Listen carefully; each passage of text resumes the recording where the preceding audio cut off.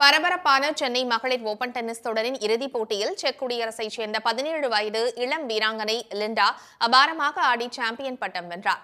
இதுகுறித்த செய்தி தொகுப்பை இப்போது பார்க்கலாம்.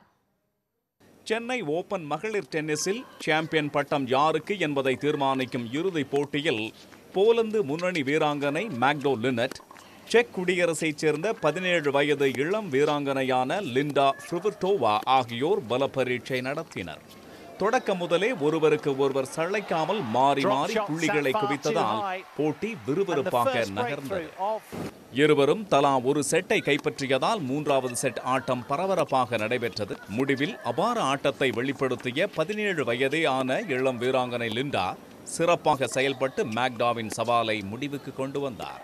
லிண்டா நான்குக்கு ஆறு ஆறுக்கு மூன்று ஆறுக்கு நான்கு என்ற செட்களில் மேக்டா லினட்டை வீழ்த்தி மகளிர் பிரிவில் முதன்முறையாக நடைபெறும் சென்னை ஓபனில் சாம்பியன் பட்டம் வென்றார் இறுதிப் போட்டியை நேரில் கண்டுகளித்த தமிழ்நாடு முதலமைச்சர் மு ஸ்டாலின் சாம்பியன் பட்டம் வென்ற லிண்டாவுக்கு கோப்பையை வழங்கி கௌரவித்தார்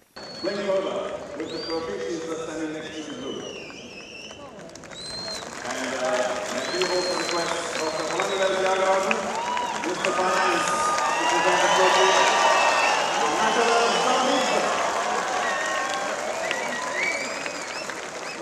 Chennai open champion பட்டம் வென்றதன் மூலம் லிண்டா ஃப்ரிவர்டோவாவுக்கு இருநூற்று எண்பது தரவரிசை புள்ளிகள் கிடைத்துள்ளன. இரண்டாம் இடம் பிடித்த மேக்னா லுனட் நூற்று எண்பது புள்ளிகள் பெற்றார். உலக டென்னிஸ் அரங்கில் வளரும் நட்சத்திரமாக மிளிரும் இளம் வீராங்கனை லிண்டாவுக்கு சென்னை ரசிகர்களின் ஏகோபித்த ஆதரவு இருந்ததை காண முடிந்தது. உடனுக்குடன் செய்திகளை தெரிந்து கொள்ள சன் நியூஸ் பெல் கிளிக் பண்ணுங்க.